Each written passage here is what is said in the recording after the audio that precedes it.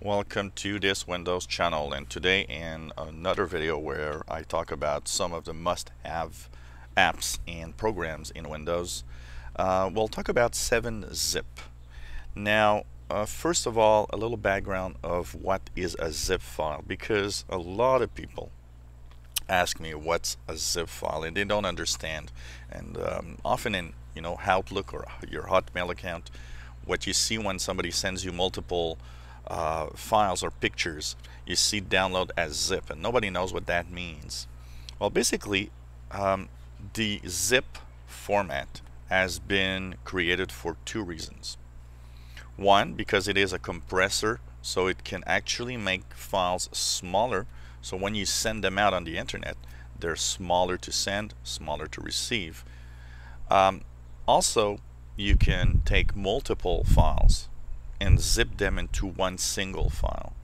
That's also useful because one of the annoying things about sending emails and attachments or even sending out files via Dropbox for example is the fact that if you have you know 15 pictures that you want to send to someone it's really annoying to have to just take each picture and put them as separate uh, attachments in email or upload 15 different pictures on Dropbox what you can do is you can zip or compress them into one file and call them, I don't know, pictures. And then you'll have a pictures.zip file. It will contain all the pictures. It's going to be only one attachment or one upload. And the person at the other end will simply unzip it.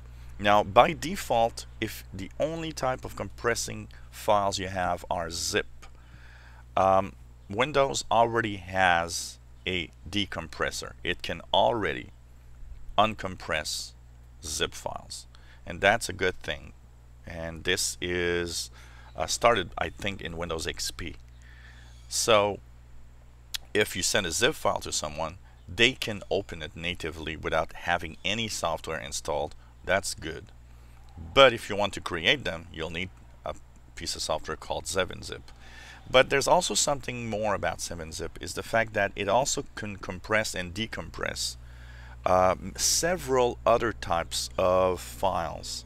And that's why 7-zip is nice. It can really uncompress even some weird uh, compressing uh, formats that can be used by different types of computers including including Macs.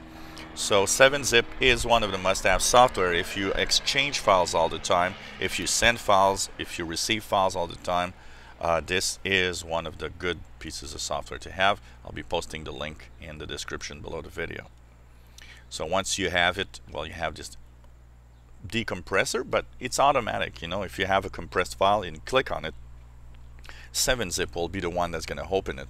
And then you can actually extract it somewhere, uh, move it, copy it, or send it somewhere else. You can, of course, create zipped files and you can either you know use the interface here and add files but uh, you can also use the right click. And say for example I want to compress downloads and send this to someone. I can right click on a file or a folder click 7-zip and you see here add to download.zip it means that it's gonna compress everything into one big file called download.zip that I can send or upload to Dropbox instead of you know um, downloading all the files uh, one by one or uploading all the files one by one to the web.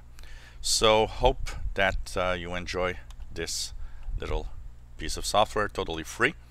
If you enjoy my videos, why not subscribe to my channel? You'll be informed when new videos are online. If you have any comments, questions, please feel free to ask. Give us thumbs up if you like our videos. Helps us in the ratings on YouTube. And uh, maybe you have a favorite piece of software that you'd like to share with someone, with us, basically and we'll share it with everyone. Why not send me uh, that information in a private message? And uh, hopefully you enjoy our videos and welcome back to our channel